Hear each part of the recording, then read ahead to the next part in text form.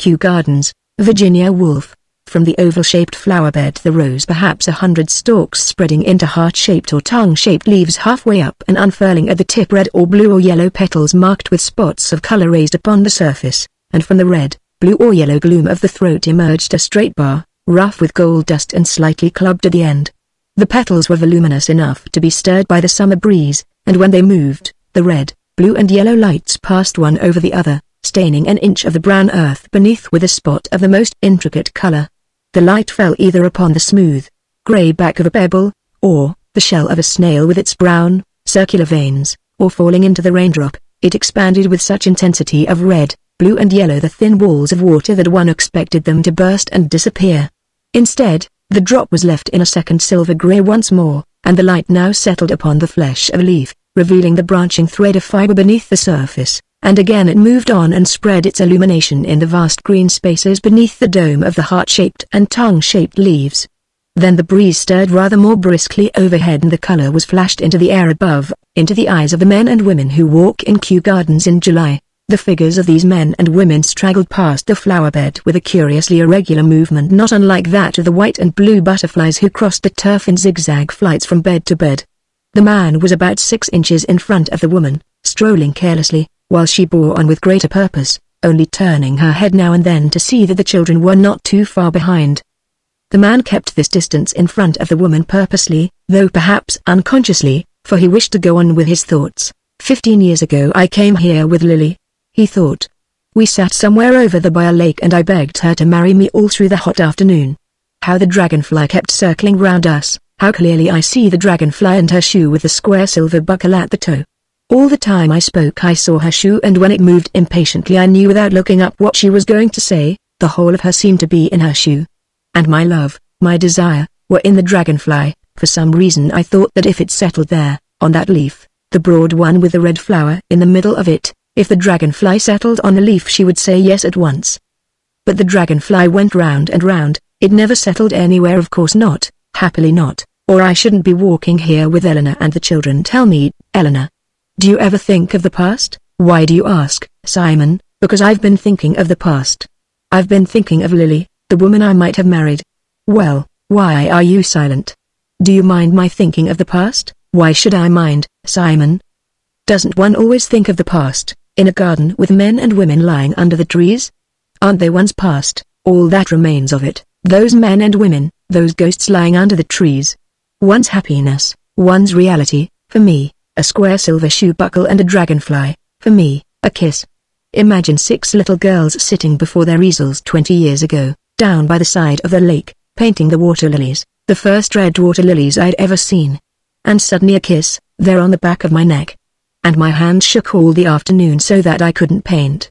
I took out my watch and marked the hour when I would allow myself to think of a kiss for five minutes only it was so precious the kiss of an old grey-haired woman with a wart on her nose the mother of all my kisses all my life.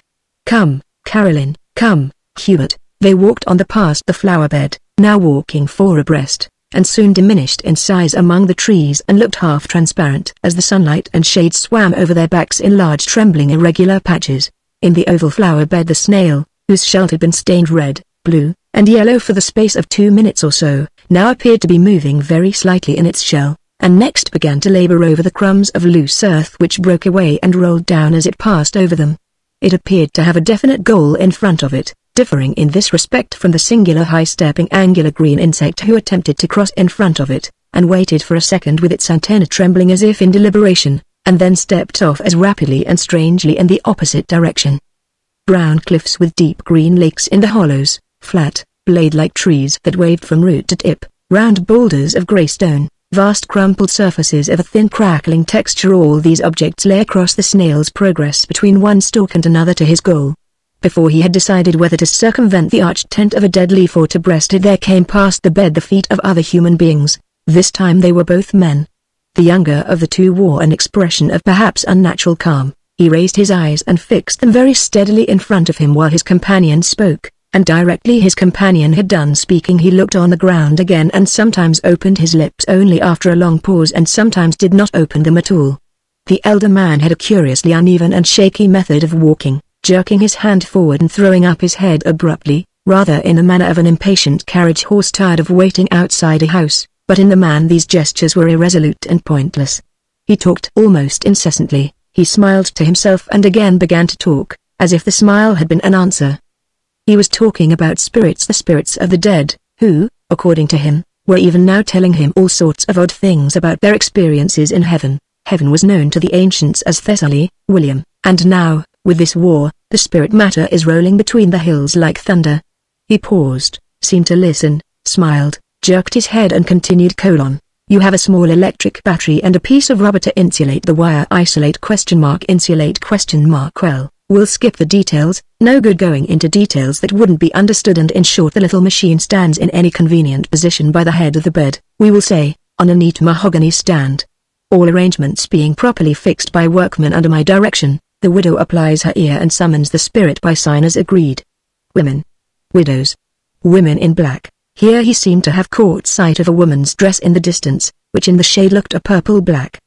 He took off his hat, placed his hand upon his heart, and hurried towards her muttering and gesticulating feverishly. But William caught him by the sleeve and touched a flower with the tip of his walking stick in order to divert the old man's attention. After looking at it for a moment in some confusion the old man bent his ear to it and seemed to answer a voice speaking from it, for he began talking about the forests of Uruguay which he had visited hundreds of years ago in company with the most beautiful young woman in Europe. He could be heard murmuring about forests of Uruguay blanketed with the wax petals of tropical roses, nightingales, sea beaches, mermaids, and women drowned at sea, as he suffered himself to be moved on by William, upon whose face the look of stoical patience grew slowly deeper and deeper. Following his steps so closely as to be slightly puzzled by his gestures came two elderly women of the lower middle class, one stout and ponderous, the other rosy-cheeked and nimble. Like most people of their station they were frankly fascinated by any signs of eccentricity betokening a disordered brain, especially in the well-to-do but they were too far off to be certain whether the gestures were merely eccentric or genuinely mad. After they had scrutinized the old man's back in silence for a moment and given each other a queer, sly look, they went on energetically piecing together their very complicated dialogue. Nell, Bert, Lot, Cess, Phil, Pa, he says, I says, she says, I says, I says, I says, my Bert, Sis, Bill, Grandad, the old man, sugar, sugar, flour, kippers, greens, sugar, Sugar, sugar. The ponderous woman looked through the pattern of falling words at the flowers standing cool, firm, and upright in the earth, with a curious expression. She saw them as a sleeper waking from a heavy sleep sees a brass candlestick reflecting the light in an unfamiliar way, and closes his eyes and opens them, and seeing the brass candlestick again, finally starts broad awake and stares at the candlestick with all his powers. So the heavy woman came to a standstill opposite the oval-shaped flower bed, and ceased even to pretend to listen to what the other woman was saying. She stood there letting the words fall over her, swaying the top part of her body slowly backwards and forwards, looking at the flowers. Then she suggested that they should find a seat and have their tea. The snail had now considered every possible method of reaching his goal without going round the dead leaf or climbing over it. Let alone the effort needed for climbing a leaf. He was doubtful whether the thin texture which vibrated with such an alarming crackle when touched even by the tip of his horns would bear his weight, and this determined him finally to creep beneath it, for there was a point where the leaf curved high enough from the ground to admit him. He had just inserted his head in the opening and was taking stock of the height brown roof and was getting used to the cool brown light when two other people came past outside on the turf. This time they were both young, a young man and a young woman. They were both in the prime of youth, or even in that season which precedes the prime of youth. The season before the smooth pink folds of the flower have burst their gummy case, when the wings of the butterfly, though fully grown, are motionless in the sun. Lucky it isn't Friday, he observed. Why? Do you believe in luck? They make you pay sixpence on Friday. What sixpence anyway? Isn't it worth sixpence? What's it what do you mean by it? Oh, anything I mean you know what I mean.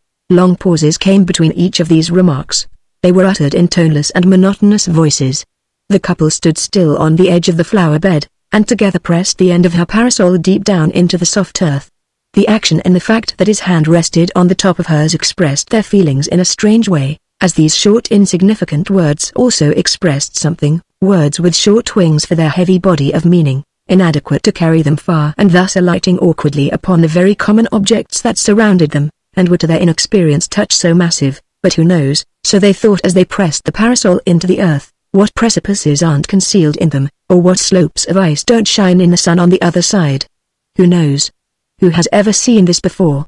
Even when she wondered what sort of teeth they gave you at Kew, he felt that something loomed up behind her words, and stood vast and solid behind them, and the mist very slowly rose and uncovered oh, heavens, what were those shapes question mark little white tables, and waitresses who looked first at her and then at him, and there was a bill that he would pay with a real two-shilling piece, and it was real, all real, he assured himself, fingering the coin in his pocket, real to everyone except to him and to her, even to him it began to seem real, and then but it was too exciting to stand and think any longer, and he pulled the parasol out of the earth with a jerk and was impatient to find the place where one had tea with other people, like other people. Come along, Trissie, it's time we had our tea. Wherever does one have one's tea? She asked with the oddest thrill of excitement in her voice, looking vaguely round and letting herself be drawn on down a grass path, trailing her parasol, turning her head this way and that way, forgetting her tea, wishing to go down there and then down there, remembering orchids and cranes among wild flowers, a Chinese pagoda and a crimson-crested bird, but he bore her on. Thus one couple after another with much the same irregular and aimless movement passed the flower bed and were enveloped in layer after layer of green-blue vapor, in which at first their bodies had substance and a dash of color, but later both substance and color dissolved in the green-blue atmosphere. How hot it was! So hot that even the thrush chose to hop, like a mechanical bird, in the shadow of the flowers, with long pauses between one movement and the next. Instead of rambling vaguely the white butterflies danced one above another, making with their white shifting flakes the outline of a shattered marble column above the tallest flowers the glass roofs of the palm house shone as if a whole market full of shiny green umbrellas had opened in the sun, and in the drone of the aeroplane the voice of the summer sky murmured its fierce soul. Yellow and black, pink and snow white, shapes of all these colors, men, women, and children were spotted for a second upon the horizon, and then, seeing the breadth of yellow that lay upon the grass, they wavered and sought shade beneath the trees, dissolving like drops of water in the yellow and green atmosphere, staining it faintly with red and blue.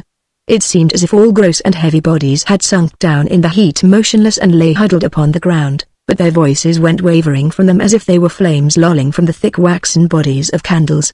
Voices. Yes, voices. Wordless voices, breaking the silence suddenly with such depth of contentment, such passion of desire, or, in the voices of children, such freshness of surprise, breaking the silence? But there was no silence, all the time the motor omnibuses were turning their wheels and changing their gear, like a vast nest of Chinese boxes all of wrought steel turning ceaselessly one within another the city murmured, on the top of which the voices cried aloud and the petals of myriads of flowers flashed their colors into the air,